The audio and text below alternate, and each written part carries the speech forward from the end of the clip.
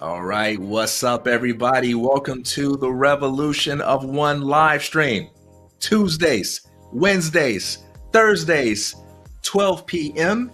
Eastern Time.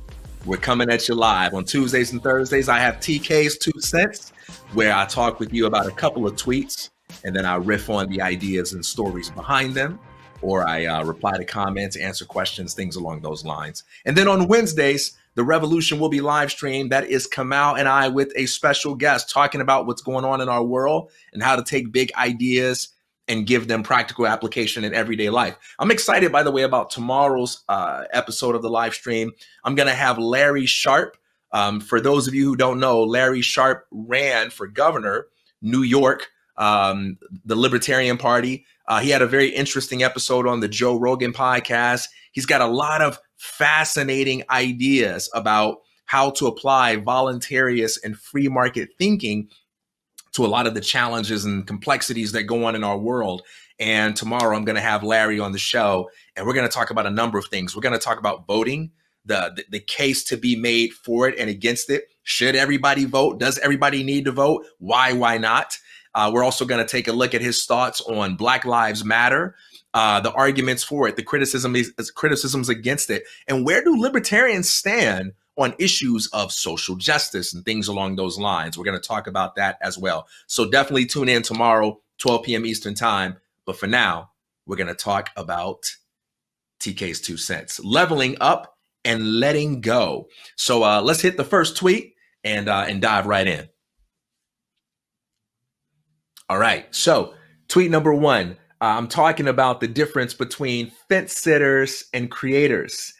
Fence sitters ask, how can I be sure what will work? Creators ask, creators say, let's see what works.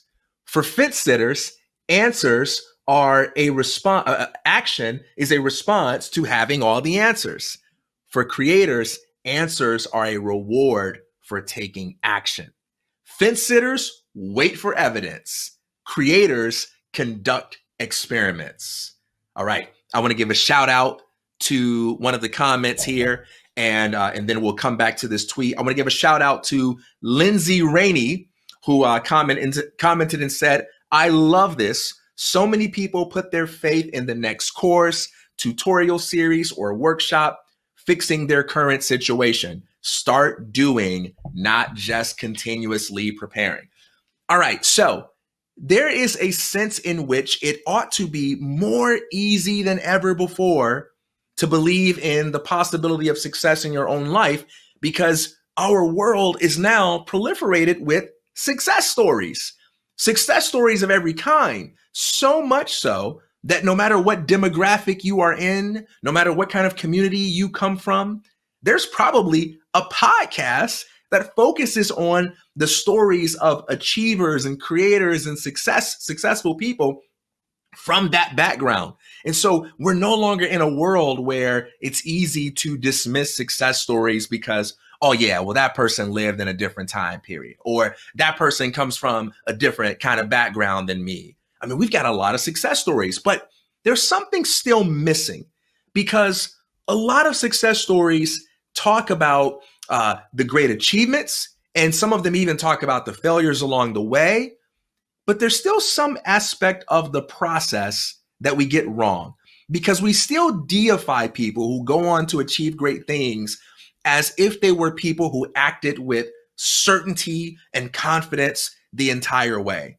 And so what that leads to is a lot of people who say, well, wow, I, I, I can dream big and I, I want to accomplish great things, but I don't have any certainty about my ideas. And when I read that person's biography or when I read that person's blog, they sound like they knew for sure what they wanted to do since they were 12 years old and they just followed a linear, clear, well defined path and never had any doubts along the way. And today, I want to change your thinking about what it takes to be successful because the people who get to do extraordinary things are not people who have some sort of special access to what comes next. The fact of the matter is, none of us know what the future holds. None of us gets any guarantees about our ideas, and we are all subject to failure. I, I even recently read the story of someone who had a restaurant idea. And this person was already wealthy and they had the ability to bankroll their own dreams. The restaurant idea was brilliant. They had the perfect partner. They had all the support they needed, the perfect location, opened up the restaurant. And for the first six months, they were crushing it. And then a number of things changed in that area that they couldn't possibly predict.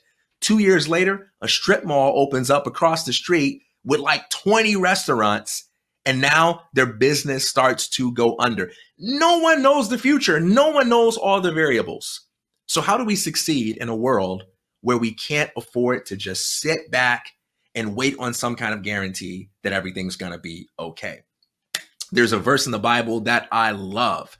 And the verse is one where Jesus says, If you say to this mountain, Be thou removed and cast into the sea, and doubt not in your heart, ye shall have what you say. And there's something that he says before that where he says, if you have faith the size of a mustard seed. Now, when a lot of people hear that Bible verse, they focus on the part that says, if you have no doubt in your heart, but they don't focus on the fact that he says, if you have faith the size of a mustard seed. So the idea here is that in order to move mountains, all you need is mustard size mustard size faith. Oh, okay, TK. Well, if you really believe that, let me see you go talk to a mountain and literally move it into the sea. That's how people talk to you when you when you write stuff like this. That's how people talk to you. Um, but the message here isn't that you can be like you know someone who just blinks their eyes and and, and says uh, mountain mountain um, jump into the ocean and it'll happen in that literal way but that in order to achieve big things you don't need to have big beliefs. You can actually create big changes with just small alterations in your thinking. So here's the fundamental difference between the fence sitter and the creator. The fence sitter is someone that says, well, in order to, to do anything, I need to have faith that there's going to be a positive outcome. I need to have belief beforehand that everything's going to be all right. And since belief requires evidence, the fence sitter sits around and waits on evidence. And the creator says, I don't need to have a belief that everything's going to be okay. I don't need to have faith that this is going to work. I just need to have an open mind, the willingness to try something new. Because what is it that the creator knows? The creator knows that there are certain kinds of answers and insights in life that can only come from doing the darn thing, from actually getting out there, putting your ideas out into the world and then getting feedback from the world.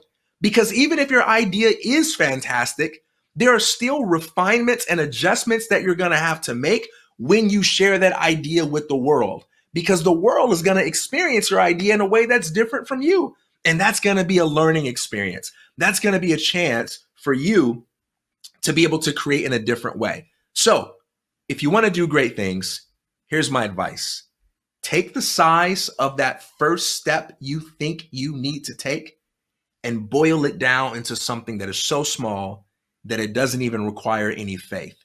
Because the goal here isn't to believe in the dream. The goal here is to simply try something new, to try something that you haven't had before. Because the goal isn't to get it right.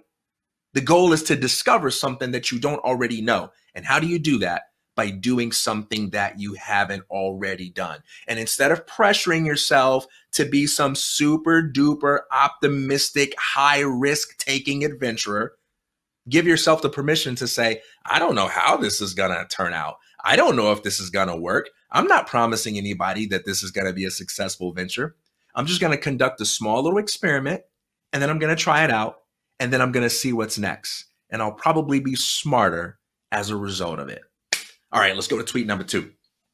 And before we do, don't forget every Tuesday, every Wednesday, every Thursday, TK's Two Cents on Tuesdays and uh, Thursdays at 12 p.m. Eastern Time, where I take a couple of tweets and share my thoughts about them. And on Wednesdays, the revolution will be live streamed. Wednesday, tomorrow, we've got Larry Sharpe joining us. Uh, don't forget to stop in because we're going to be talking about the case for and against voting. Should everybody vote? We're also going to be talking about things like social justice, Black Lives Matter, policing, and what's the libertarian position on this kind of stuff. And for all of y'all who don't know, what is libertarianism even all about? And should we care? We'll be talking about that tomorrow, so tune in. All right, tweet number two. Don't let anyone hold you hostage to a past you've outgrown. Don't let anyone hold you hostage to a past you've outgrown. In life, you have the right and the responsibility to reinvent yourself. You have the permission to evolve beyond who you were in the past. The past might be a part of your story, but it is not the final chapter. It is not the end of the story. No matter who you were yesterday or yesteryear, you can always be more because you can always develop new ideas and new skills and new experiences, right? Well, I got a comment that I want to address. This comment is from Alex. And so when Alex read my tweet that says, never let anyone, or don't let anyone hold you hostage to a past you've outgrown, Alex said, you mean like they do in prisons? Now, you know, I got to admit, back in the day, comments like this used to frustrate me. And, and they would almost make me not even write what I wanted to say. Because the thing about social media is social media isn't a book. Social media isn't a blog. You only get so much space to share your thoughts. And there's one thing you can be sure of in life, and that is if you say something on social media, there is a lot more that can be said about what you just said than what you just said. You cannot have the final word on social media. You cannot be exhaustive and comprehensive. And so, no matter how you try to word it, no matter how you try to structure it, once you hit the enter button and you put that thought out there, there's another angle on it. There, there's a demand for precision that can be made on what you say. And I used to get real psyched out and in my head about this. And there would be so many days where I'd sit down and I'd almost write something. And then I go, no, because I bet somebody's going to say this. And I don't have enough characters to address that and cover all the different perspectives. But now I've come to appreciate these kinds of comments because what they do is they give me the opportunity to see how my thoughts are landing with others, how my words are showing up in the consciousness of other people. And by having that reflected back to me, I can refine my own thinking.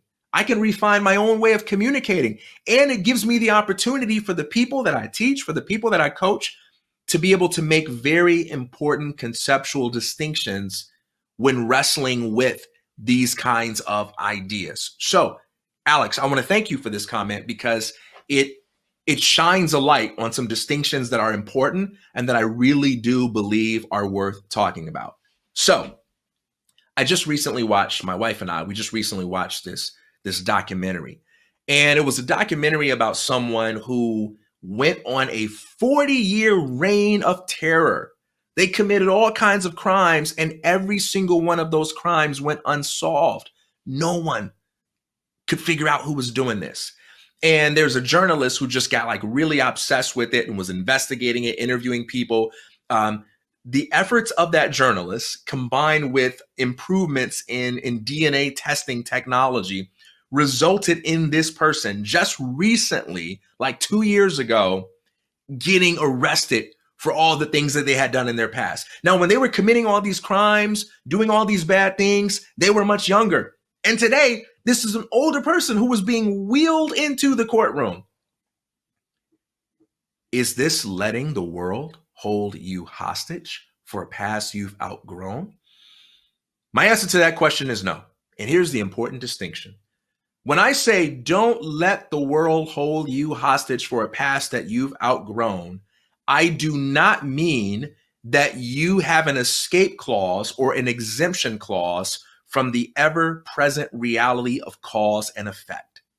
Actions have consequences. The choices you make produce results, and those results and consequences are something that you are going to have to live with. This isn't about erasing the past. It's about altering what you do going forward in the future that man who committed all those crimes was not being unnecessarily held hostage by other people's thoughts.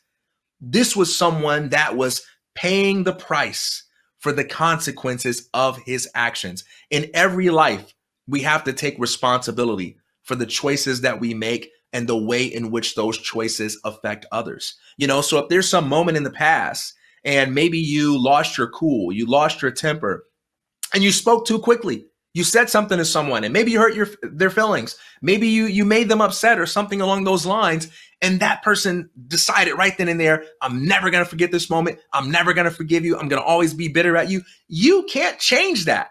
You can't control that person's reaction and response all you can do is own it and own it you should because that is the definition of personal responsibility and sometimes owning it means going beyond saying i'm sorry Sometimes owning it means paying a financial price. Sometimes owning it means giving up your time and your energy or dealing with other kinds of inconveniences. So I am not offering an out to anyone when it comes to the past.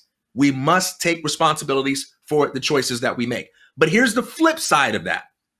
The flip side of that is even though you can't erase the past, you can disrupt the pattern of thinking and choosing that created those kinds of past results. And you can stop yourself from recreating a future that looks like your past. Just because you're responsible for your past doesn't mean you need to recreate it into the future. One of my favorite lines from the movie Inception is never recreate from memory, always imagine new spaces. You can do that with your life. If you've made mistakes, if you've messed up, if you've done things you're not proud that you're not proud of, don't hide from it. Don't lie about it. Don't pretend like it's not real.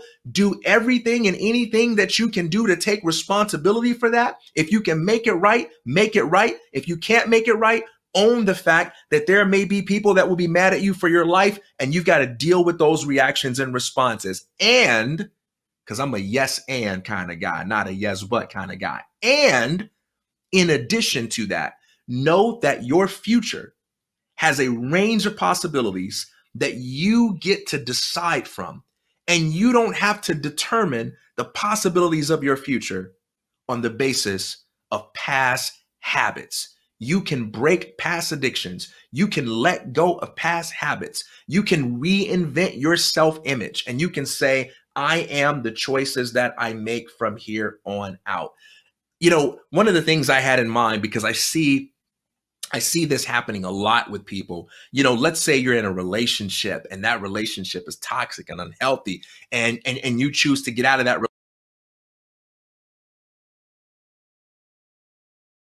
to drag you into discussions about some past relationship that you're not even in anymore because, well, they like gossip or they're curious or they're just interested in it. And you allow yourself to get sucked into conversations that are bringing you down that you don't even want to be a part of. That's allowing other people to hold you hostage to a past that you've outgrown. You have the right to opt out of those conversations. Or let's say that in the past, you were the guy that was always late or you were the girl that always put her foot in her mouth, or you were the person that always tried things and ended up just embarrassing yourself. Okay, that's your past. And maybe there will always be people who, when they see you, they will say, That's the way I insist on always seeing you. But guess what? None of that stops you from learning something today that you don't already know. None of that stops you from pursuing new kinds of experiences and developing new kinds of skills. You can take that pass, you can internalize it as possible wisdom by consulting it for the lessons and insights that it can give you. And then you can say, from here on out, I choose to create myself anew. So, there are two things, two categories of things in life. One, there are your thoughts and choices. Two, there are other people's reactions and responses. You can't always control number two. Can't always control other people's reactions and responses, but you can always get to be the one who decides what your thoughts and choices are. When I say don't let other people hold you hostage for a past you've outgrown, I mean don't let other people's reactions and responses, which you cannot control, limit the possibility of your thoughts and choices, which you can't control. Control. Peace out, y'all. I'll see y'all tomorrow, 12 p.m. Eastern Time.